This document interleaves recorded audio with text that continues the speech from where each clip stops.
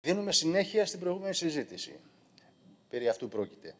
Διότι τα έντονα καιρικά φαινόμενα στην Κρήτη που έπληξαν τα βόρεια παράλια του νησιού στις 20 του Οκτώβρη και με το χαλάζι να φτάνει στο μισό μέτρο προκάλεσαν ανυπολόγιστες καταστροφές στον ελαιόκαρπο, σε θερμοκηπιακές καλλιέργειες, στις μπανάνες, στις ανθοκαλλιέργειες, στα υπαίθρια οποροκυπευτικά, κυρίως στο βόρειο τμήμα του νησιού, από τα Χανιά, την περιοχή Πλατανιά, στο Μιλοπόταμο, στα Μάλια, στη Χερσόνησο, στις Γούβες, μέχρι και τη Σιτία.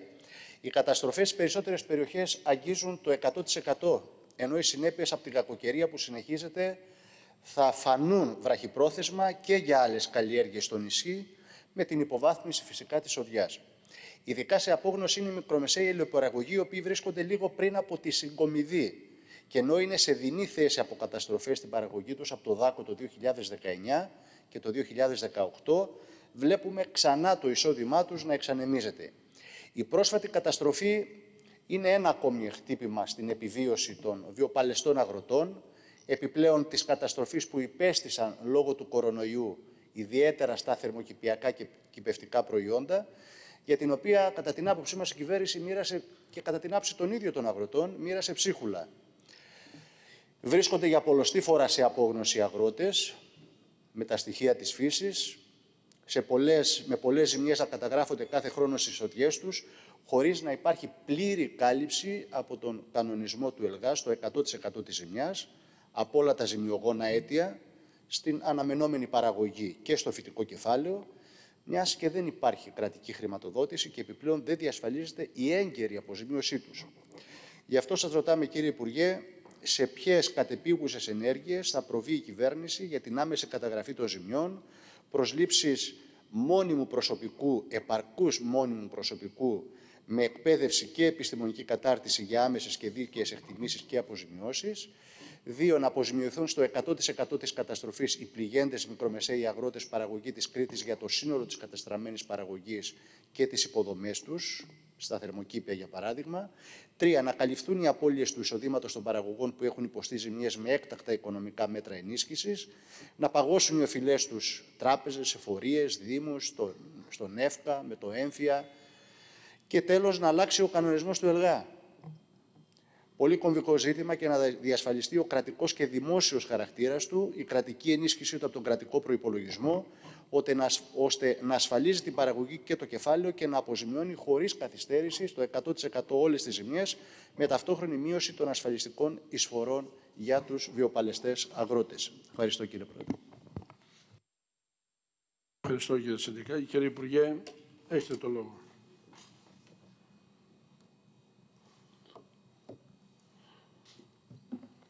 Ευχαριστώ κύριε Πρόεδρε. Τώρα, στο πρώτο κομμάτι έχω απαντήσει. Δεν ξέρω αν θέλετε, την ακούσατε την απάντηση κύριε συνάδελφε, δεν ξέρω αν θέλετε να την επαναλάβω.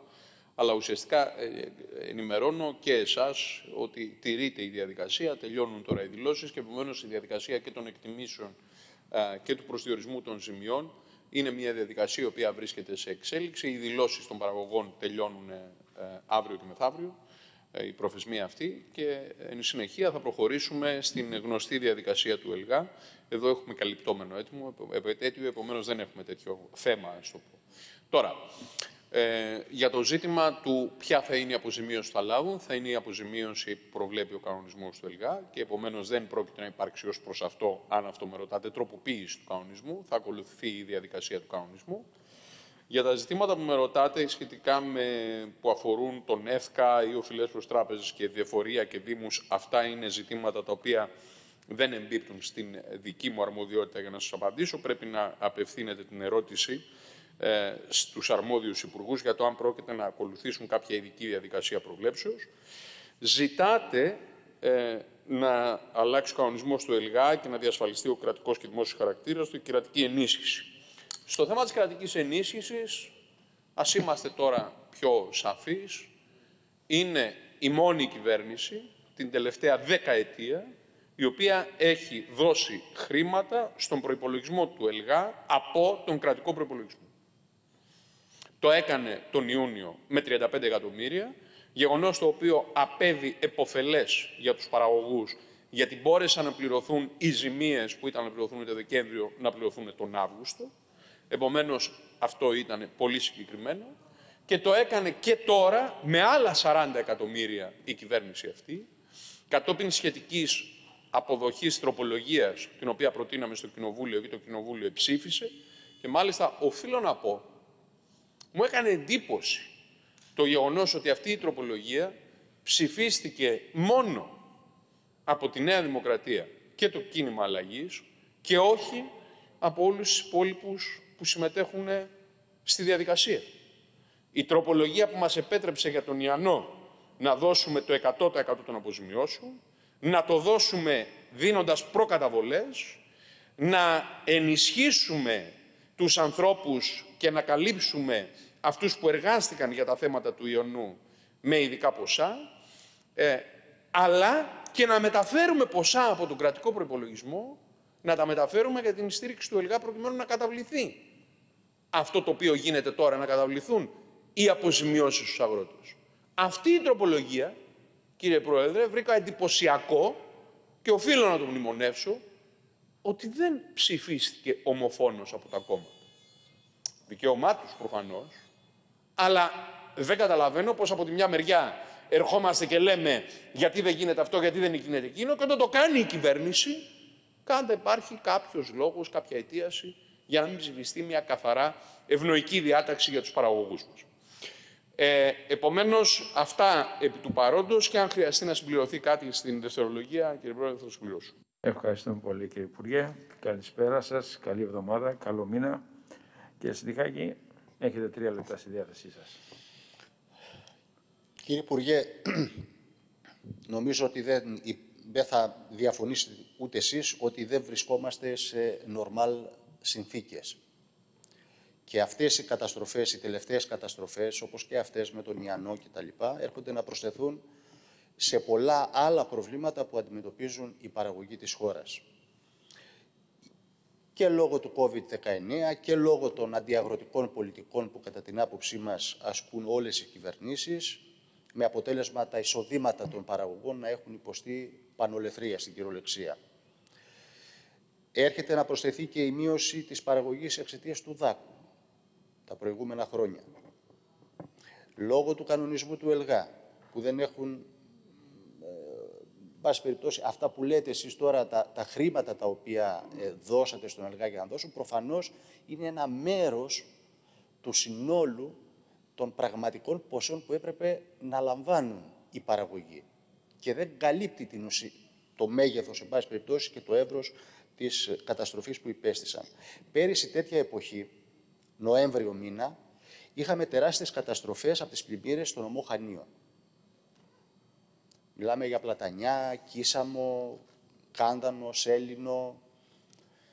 Οι ζημιές υπολογίστηκαν τότε γύρω στα 200 εκατομμύρια ευρώ. Θα μου πείτε πώς βγαίνουν τα 200 εκατομμύρια ή πώς βγαίνουν τα 100 εκατομμύρια που κουβεντιάζαμε προηγουμένως από τις ε, καταστροφές. Σε κάθε περίπτωση δεν είμαι εγώ αυτός που θα πω αν είναι 200, είναι 100, 150, πάντως ήταν μεγάλη η καταστροφή. Ένα χρόνο μετά από αυτές τις πλημμύρες δεν έχουν πάρει δεκάρα. Γιατί; Και μάλιστα ήμουν χθες στην Κουντούρα με κλιμάκιο του ΚΚΕ και είναι καθόλου δυσαρεστημένοι διότι τους ανακοινώσατε ότι για τα θερμοκήπια θα πάρουν 500 περίπου ευρώ το στρέμμα όταν το κόστος, αυτά είπαν οι ίδιοι παραγωγοί, όταν το κόστος για την κατασκευή ενός στρέμματος θερμοκηπίου κοστίζει 20.000 ευρώ. Μιλάμε τώρα, είναι αστεία δηλαδή τα ποσά, τα 400, 500, 550, κάπου εκεί, εν πάση περιπτώσει, δεν θυμάμαι ακριβώς το ποσό το οποίο ε, ανέφεραν.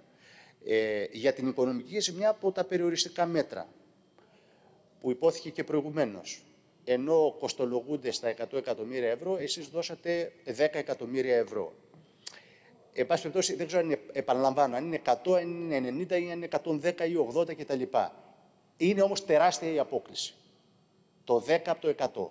Άλλο 100 εκατομμύρια και άλλο 10 εκατομμύρια, 9,7 για την ακριβιά. Δεν θα βγάλουμε πάντως στον πληστηριασμό τις ανάγκες των ε, αγροτών, των φτωχών αγροτών.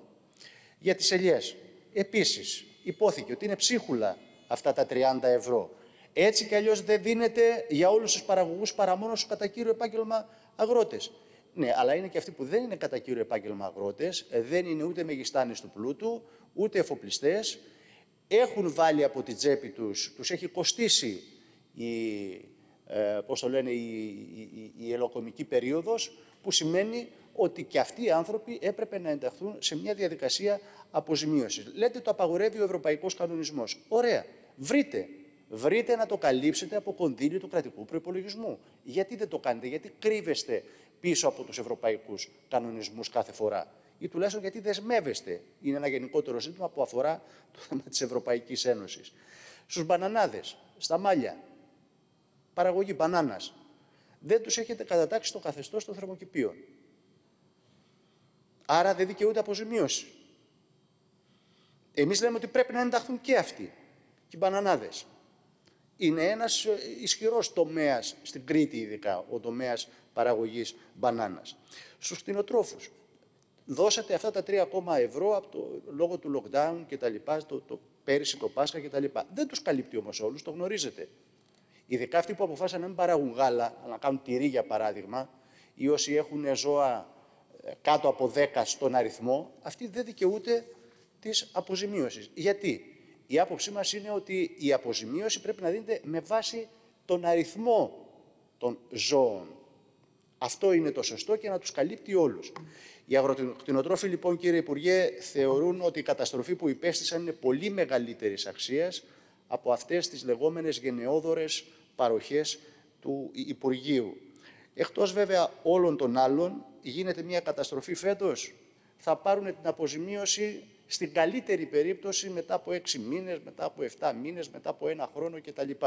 Ενώ οι ανάγκες για τη νέα ε, περίοδο ελαιοπαραγωγής ή για τους ε, θερμοκηπιάδες είναι η αποζημίωση να δίνεται άμεσα προκειμένου να καλύψουν τις ανάγκες της νέας περίοδου.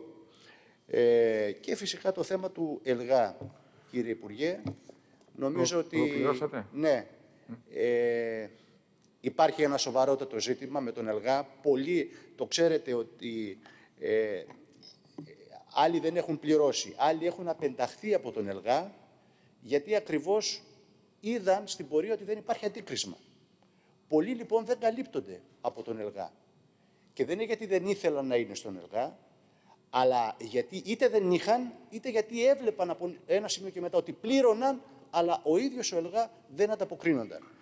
Κατά συνέπεια, ε, θεωρούμε ότι πρέπει να πάρθουν άμεσα μέτρα. Βεβαίως και προτάσουμε το ζήτημα του ΕΛΓΑ. Πρέπει να αλλάξει ο κανονισμός, πρέπει να ενισχυθεί ο δημόσιος χαρακτήρας του και να καλύπτει το σύνολο των ζημιών που ε, αφορούν τις ε, καταστροφές στο φυτικό κεφάλαιο των παραγωγών.